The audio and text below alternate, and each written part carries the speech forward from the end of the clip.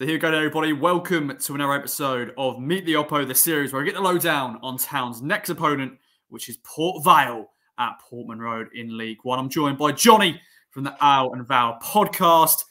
And Jonny, great to have you on. Uh, Darrell Clarke has just been sacked. Um, how how are you feeling? Yeah, um, confused, really. Look, if this was a purely footballing decision, and you look at it on paper, two wins in 18 isn't good enough. But he's a bloke that's just got his promotion. It's the first season in League One. It's a League One that, since the last time we got relegated out of it, is a hell of a lot stronger. Um, just to, to be fair, it was quite funny actually. This this morning before the news broke, we were actually talking in the group chat about it, and the last season that we got relegated, Sheffield United won the league with 100 points. Um, it looks like that's not going to be matched, but Bolton was second on 86, and that's going to be smashed by two, maybe three clubs now. Um, and Scunthorpe were actually third on 80 on 82, um, which that that's probably going to be beaten by sixth, fifth, fifth or sixth this time round. And then from there, you had Fleetwood, Bradford, Millwall is the top six when you look at uh, that compared to today, when we've got Bolton, ex Premier League in there, Ipswich, ex Premier League in there, we've got Peterborough that are up and down spending money left, right, and centre all the time. Barnsley, ex Premier League, Derby, ex Premier League, Portsmouth, Charlton. That that's part. Do you know what I mean? Like the, the league now is in a completely different place than it was in 2016, 17 when we went down. So we know that we're a decent sized club, but without serious investment, 12th place in League One is probably as high as that we can look at.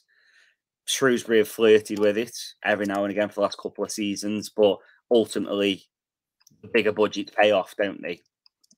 So I'm gutted he's gone. The bloke will go down as a legend even after just two years. He he saved us from relegation, got us promoted, and then had a really good six months at the start of this season. Yes, it's been it's been poor this this last half, but convinced that there's more to it. Yeah, definitely. Like I remember looking at a table a few months ago and going, "I oh, Port Vale fine. You know, they're going to be one of those teams that first season back in League One, staying up comfortably." But now yeah, with not many games to go and sacking a manager, new manager bounce and all that. Um, but that won't be coming in until um, after the Tuesday game, of course, against Town. Um, quickly recap, Jonny, then the, the last few months because yeah, not a great run of form. What's that been down to? Just you know, there's a lot of suspensions, four players suspended for the game against us. Yeah, it started before that. To be honest with you, there's we had before Christmas, we had three of the four strikers we had out injured. We then went into the busy Christmas period with one fit striker who then took a knock. So we went with no fit strikers for about a month. Um, we then sorted that problem out almost by signing a striker in January. Um, and then as soon as the window closed, two of our defenders within the space of three games then got injured um, which doesn't help anyone. So I don't want I don't want to go out with like a woe is me sort of story because that's not what it is. It's football. At the end of the day, you get injuries, you get suspensions, you you, you lose a goal to something that's a refereeing decision, but ultimately we all know it pretty much evens itself out over the course of a season. We know that, but we have had a lot of injuries. Our home pitch is a cause of that it's it's not in the best quality, and there's there's been talk about it being um, sorted out in the summer. But you know, there's there's there's lots of little things here and there that we can point at and go, that's an issue, that's an issue. But ultimately, we've just had a run of horrid luck, and that's that that's the be all end all of it. Really, we we went to Bolton, for example, and we were the better team. Um, we were 2 0 up against Portsmouth and we ended up drawing two all. We uh, we played Oxford the other day, and their keeper, who they'd been slating for weeks, had the best game of his life. So we we're just we're in that form of we're we're a team down on the luck, and you know yourself when you're down on your luck, everything goes against you. We we just need that that catalyst now. And Saturday felt like it might have been that with the keeper getting sent off and getting a penalty, being away, go, getting equalised, and then going two one up early doors. But getting two red cards in the game is, is isn't going to help yourself. So we've seen the statement. We've seen that it says senior players have have been speaking up in the last week or so, which is a worry because they might be speaking up against the manager, but they haven't been stepping up on the pitch. So rather than moaning and groaning to, to whoever, they put it in on the pitch. Some of these players are playing for careers, and we, we've got a structure, we've got a setup, but something's gone wrong, and there's there's a lot of finger pointing at the minute going on at multiple places. Yeah, and I, I was seeing the timeline, the Port Vale timeline, and uh, fans are not happy, are they? they? They think this is the wrong decision, the wrong time to do it. Maybe do it at the end of the season if you guys stay up or relegation or whatever. But you know that that's what it's looking like on the timeline, Jonny. And you, as you said, you know you were shocked with this decision. And you know, we funny enough, we recorded a, a oppo last night, Sunday night, um, to prepare for this game, and then we uh, messaged each other in the morning. Went, we're gonna have to redo this. So this this is take two, Jonny. Um, but you know, how are you feeling now going into the game, knowing you've got no manager, players maybe was maybe the reason why that you know Darrell Clarke got sacked and going to be taken on a informed Townside. Yeah, I suppose the only thing you can say is that if their players were seriously that unhappy, that they've got they've got the chance now to go and show it. Is it the perfect opposition to go and go, go and do that? No, obviously not. You guys are flying, so is it the perfect opportunity for a new like Andy Crosby's taking over and it looks like he's taking over till the end of the season? Um, is it the perfect opportunity for him?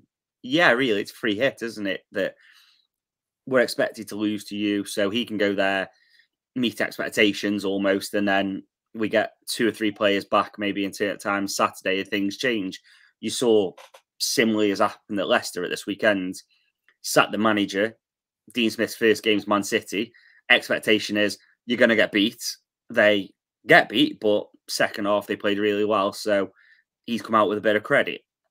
That's kind of like the way up now.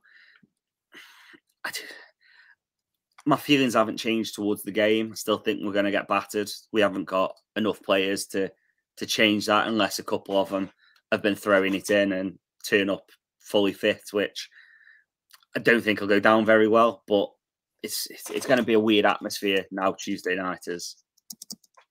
Yeah, yeah, I can imagine. And of course, you know, this is the first time Port Vale gone to Portman Road since 2000s. Uh, you know, I know you're going your first trip down to Suffolk, so um, I hope you do enjoy it, my friend. But uh, yeah, it'll be an interesting day um, for Port Vale and for the rest of the season. Um, you've got Plymouth on the final day, Jonny that's a big moment for for us. You know, get a result there. I was going to say new manager bounce, but if Andy Crosby is going to stay in charge, hopefully he can get a result there. But um, but any other business, Jonny? You know, we can talk about the players in and out, but um, it's all about Port Vale at the moment with Darrell Clarke going. You know, the run of form is not great. You know, the way form. Yeah. T- t- what, other, what other things you want to mention, my friend? Yeah, I, I, I just think it's it's it's one of them, isn't it? At the minute with with meeting you guys and Plymouth and Charlton at this stage of the season. You you've got to play the the teams doing well at some stage. You just hope that you you catch them earlier on in the season or once it's done and dusted. So we we've got a big say in it and we need it. We we need points to stay up.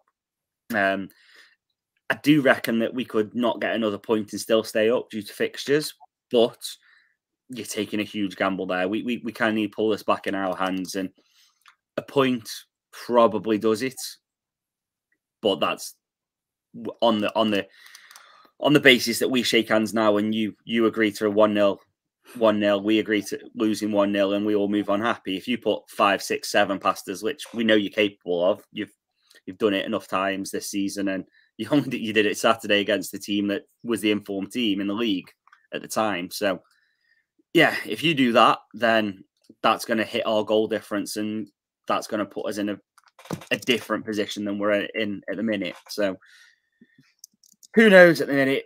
That's yeah, it's it's it's a hard one to take. Um, Definitely, man. Definitely, man. Yeah, I do. I do feel for you when you when you sacking a manager when a manager gets sacked and is a manager that you like, and as you said, he will go down as a legend, helping you get promoted. Um, but yeah, final bit of notes, Jonny, is maybe just mention one player quickly. Ellis Harrison um, will be returning to Portman Road, of course, signed for you guys, your top goal scorer. Um, will he feature? Do you reckon? I'll quickly bring up the last eleven. Um, he's not in this eleven here. Of course, your, your captain is suspended for this game. You've got four players suspended. Um, but Ellis Harrison, um, is he going to feature, do reckon? And I'm sure he'll be up for this one. Um, you asked me this question yesterday, and I said yes. You're asking me today, and I honestly haven't got a clue now. It depends if we deviate from the three, five, two, three, four what formation. I'd be tempted to say yes, He's he's our most important player in both boxes. Um, he, he he defends corners really well. Um, he obviously he's a striker, so he, he, does that side of it really well. He holds the ball up, links up well. Can be a bit petulant at times. He when things aren't going his way, he, he puts in a striker's challenge or two. We've seen him get a few yellow cards, but overall, Ellis Harrison has been great for us. Um, he's a workhorse. Um, there, there's there's only been one game really that since we've had him that springs to mind where you think, yeah, he, he didn't he, that he didn't put it in that day. So hopefully he's coming to your your place and thinking, I've got something to prove here. So yeah, we'll wait and see. I know, I know he's um got, got, got a nice connection with Darrell Clarke, so I'm sure he's disappointed. He's you know he's managed and sacked, I'm sure, and all that sort of stuff. But um anyway, Jonny, it's been a pleasure, my friend. Thanks so much for joining me. Uh, safe trip down to Port Vale. No, you're Port Vale. Where is your town? Um, but any other business, my friend? Anything else you want to mention? Um, big games to come. Yeah, obviously, let's say we, we've got some we've got some big games coming up after yourself, so it'll be interesting to see how things go, um, and it'll just be nice um, if you can if you could help us out a little bit by beating Fleetwood on the final day, because I know they're not quite in there, but you know, any points that you could take off teams in and around it is is going to help us. Definitely, mate. Well, um, gentlemen, handshake right here. Beat Plymouth on the final day. That would be very helpful indeed. Uh, yeah. Well, Jonny, thanks for joining me. Uh, thanks everyone for watching. If you're going to the game, enjoy. If you're not, follow the game with us. Bye bye for now.